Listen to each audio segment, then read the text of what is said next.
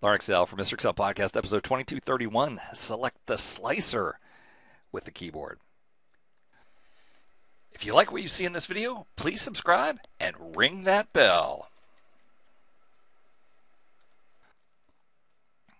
All right, so yesterday, how to select the sheet tabs with the keyboard. Today, how to select that freaking slicer. It's not easy to do.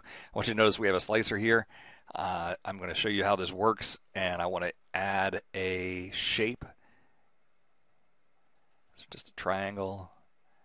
And then I will add another shape or an illustration or something.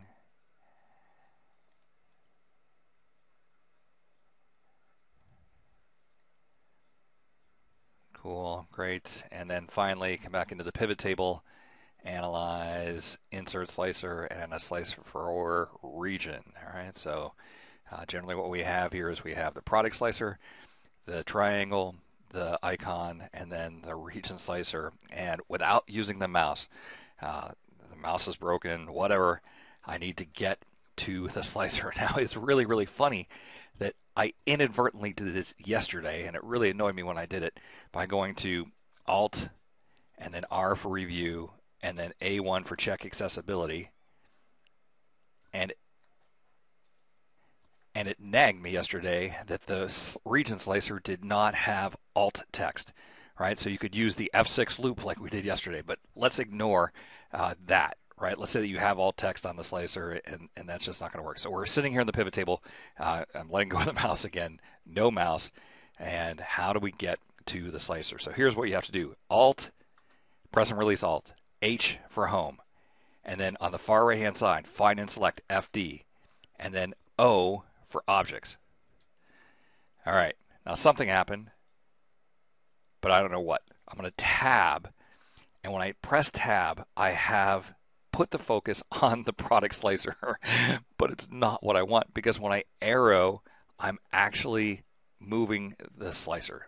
No good. But check this out. Tab again, and I'm now on the multi-select. All right, so you can see that controls now pass to the multi-select. Press tab again, and I move down to Apple, and I'll choose Apple. Arrow down, choose banana. Arrow down, choose cherry. Uh, but no, I really wanted the multi-select, so it's Shift Tab to back to clear filter, Shift Tab again to the multi-select. Now multi-select is selected. Tab to filter, Tab into the the tiles. Um, I'll press Enter on Apple, so now I have Apple and Cherry. All right, now I want to get to the region slicer. So from the tiles, the next tab that I press is going to select the next object that I created, the triangle. Tab again, and I should be on the icon, bingo, tab again, and I'm in that horrible state of region where arrows are just going to move it, but then tab again, and now I'm on the multi-select and down into the items. So let me go back. I'm going to shift tab, shift tab, uh, turn on the multi-select, clear the filter, and I should be yep west east central. Ah, oh, yeah, so they're great out here because of the previous choices but you get the general idea. And then from here tab one more time and we go back to the product slicer. And again at this point the arrows don't do anything. I have to tab in. All right now I'm on the multi-select. Now I'm on the clear.